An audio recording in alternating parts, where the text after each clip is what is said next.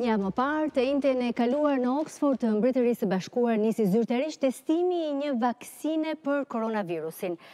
Duke shënuar kështu dhe një moment shprese për mbarë botën për gjetjen e ilaçit shpëtimtar nga ky virus i pabesë. Dy shkencëtarë, doktorantë të Universitetit të Oksfordit, ishin pjesë e tetëqind vullnetarëve nga mosha tetëmbëdhjetë deri gjashtëdhjetë e pesë që do të testoheshin pikërisht për këtë vaksinë në dozat që kishin vendosur mjekët.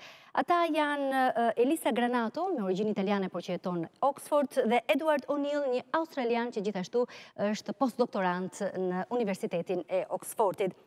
Duhet sqaruar se tetëqind personat e parë që morën dozën, mjekët vendosën që të mos i vinin në dijeni nëse i kanë injektuar vaksinën e meningjitit apo vaksinën e koronavirusit, që të mos u japin qetësinë se janë të paprekshëm nga ky virus, ndaj duhet të tregohen të kujdesshëm për të mos u infektuar. Sot që flasim, në të gjithë botën statistikat flasin për 3 milion e 200 mijë vetë të infektuar në mbarë globin dhe kemi 230 mijë të vdekur nga ky virus. Ndërsa në Shqipëri, sipas të dhënave zyrtare, të prekurit janë 773 persona dhe kemi tridhjetë e një viktima që nuk e kanë fituar betejën me COVID-19. SARS-CoV-2 e ka futur botën në një spirale të vështirë, jo vetëm izolimi, karantinimi, por edhe një krize të fortë ekonomike, pa llogaritur këtu dëmin që ka shkaktuar në ankthin, shëndetin mendor, frikën për jetën dhe për shëndetin të mbarë botës. Ishte pikërisht Universiteti i Oxfordit i pari që nisi testimin e vaksinës për koronavirus dhe ne kemi biseduar me të parin vullnetar të cilit i është injektuar kjo dozë vaksine. Ai quhet Edward O'Neill, jeton në Oxford, siç e thashë, është post-doktorant atje dhe ndërkohë kemi biseduar pikërisht për gjendjen e tij shëndetësore dhe mbi të gjitha kur do të gjendet vaksina dhe kur do të nisë prodhohet. Edward O'Neill, faleminderit për intervistën në Euronews Albania. Mirë se ju gjeta, kënaqësia është e imja. Si ndjeheni aktualisht? Um, I feel quite good actually. Um, so I'm I'm in perfect, you know, perfectly healthy right now. Ndihem mirë aktualisht, jam i shëndetshëm për momentin. Studimi kërkonte që ne të mos e dinim nëse kishim bërë vaksinë normale apo vaksinën e koronavirusit. Um,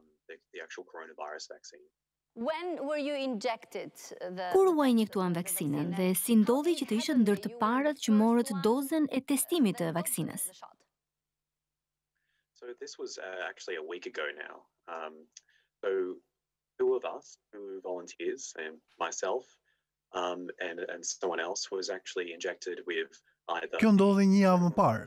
Ne ishim dy veta, dolëm vullnetar, unë dhe dikush tjetër që u injektuam, ose me vaksinën e koronavirusit, ose me të meningjitit. Të dyja këto të japin simptoma normale të vaksinës. Dhe ndaj nuk e dimë saktësisht se çfarë vaksine kemi marrë, dhe nuk jemi të lejuar të dalim jashtë, të jemi të guximshëm apo qëllimisht të infektohemi. Ne nuk jemi të vetmit që kemi marrë vaksinën.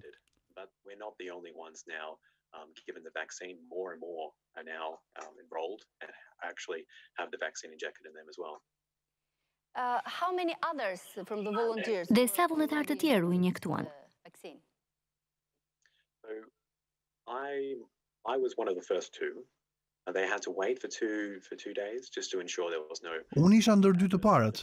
Pas kësaj u deshën të prisnim dy ditë që të siguroheshim që nuk kishte efekte anësore të menjëhershme. Dhe më erdhi mirë që nuk kishte efekte. Kjo do të thotë që janë përfshirë shumë njerëz të tjerë. Nuk e di numrin saktësisht, por me sa kam parë sot, ka patur shumë njerëz që kanë hyrë e kanë dalë.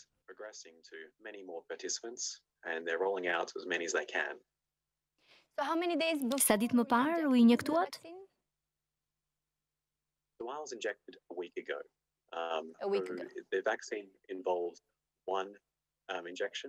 Një javë më parë.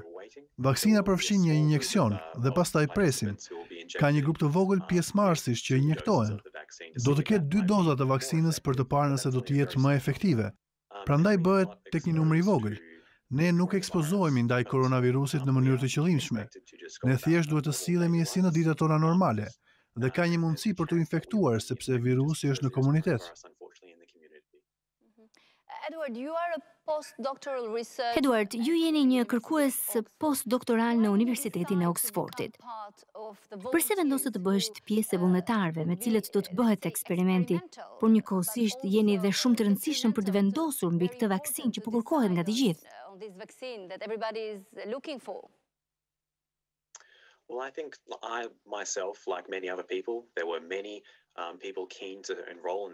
Unë ashtu si shumë të tjerë, sepse kishte shumë të tjerë që kishin dëshirë të përfshiheshin në studim dhe u duhej të ndalohej përfshirja e të tjerëve, sepse kishte më shumë se pesë mijë njerëz që donin të regjistroheshin në dy ditët e para. Dhe unë isha me fat që u përfshiva në studim. Pra, unë si shumë të tjerë, kisha dëshirë të ndihmoja. Unë gjithashtu jam i interesuar në shkencë. Nuk isha i shqetësuar për rrezikun. E dija që kjo vaksinë u ndërtua mbi një teknologji që njihej dhe që ishte e përdorur tashmë për të zhvilluar vaksinën e MERS, që ishte një lloj tjetër koronavirusi dhe që është testuar në shumë njerëz. Pra nuk isha i shqetësuar për sigurinë apo për rrezikun tim personal. Unë e di që jam në duar të sigurta dhe e di që çdo rrezik i mundshëm që mund të ndodhë është nën kontroll dhe e di që jam në duar të sigurta. Unë e di që vaksinat janë një mënyrë e sigurt për të zhvilluar imunitetin e masës dhe e di që koronavirusi është një sëmundje shumë e keqe. Prandaj zgjodha të merrja vaksinën dhe potencialisht të merrja dhe koronavirusin.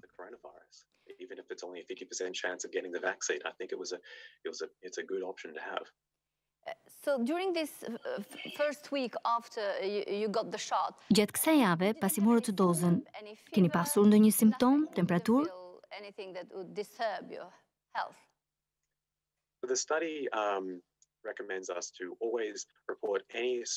Studimi na sugjeron që të raportojmë të gjitha simptomat tek qendra dhe ata mbajnë regjistra ditorë dhe sigurohen që ne të kontrollojmë temperaturën dhe gjakun. Jam besimplot sepse çdo gjë është e mirëmenduar. Për të gjitha simptomat që shfaqen nga vaksina raportohen plotësisht në regjistrat këtu në Mbretërinë e Bashkuar. Dhe kështu e dimë saktësisht se çfarë do të ndodhë. Unë ndihem mirë, por unë e di dhe kam besim të plotë se ky studim është bërë shumë mirë dhe jam i bindur që po përparon dhe e di që kanë mësuar shumë nga kjo.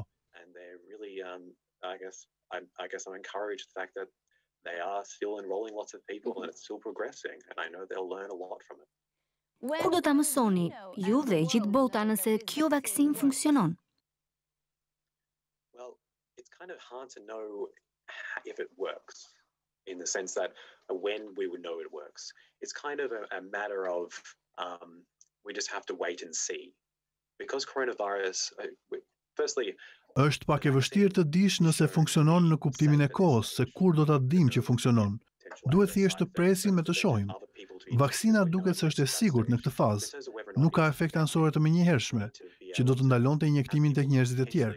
E dimë këtë të paktën për këtë fazë.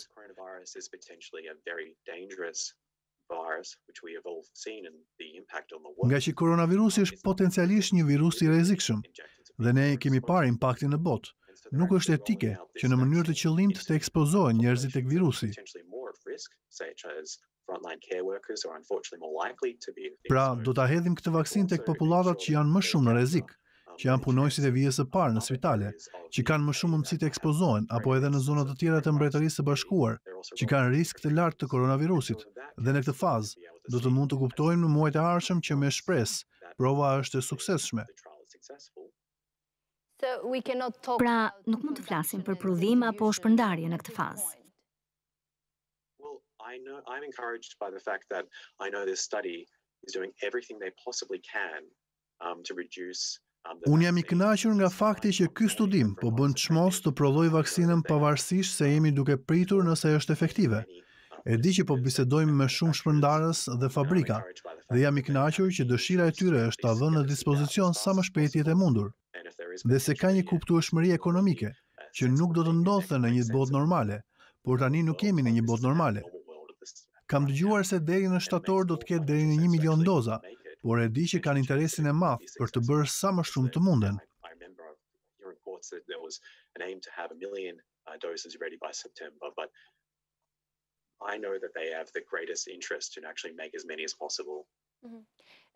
Deri kur do të kontrolloheni nga mjekët për simptoma të mundshme pas vaksinës? I am in regular contact with the um, study. I give a daily online log. Um, I've also had regular blood tests where they also check if I'm okay. Unë jam në kontakt të rregullt me studiuesit. Bëj gjithashtu teste gjaku të rregullta. Ata kontrollojnë nëse unë jam mirë. Ata marrin gjakun tim për të parë nëse prodhohen antitrupa kundër koronavirusit.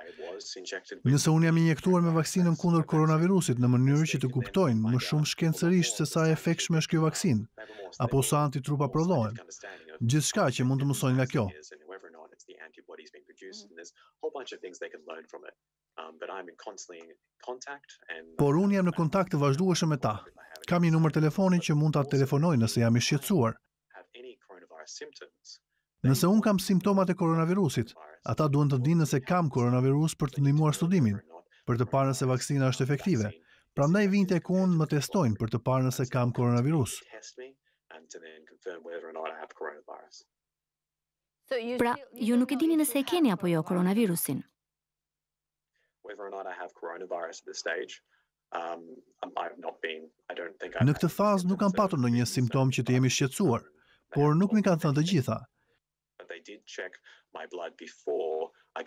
Di që kontrolluan gjakun tim përpara se të vaksinohesha, për të parë nëse kisha antitrupa për koronavirusin në gjak,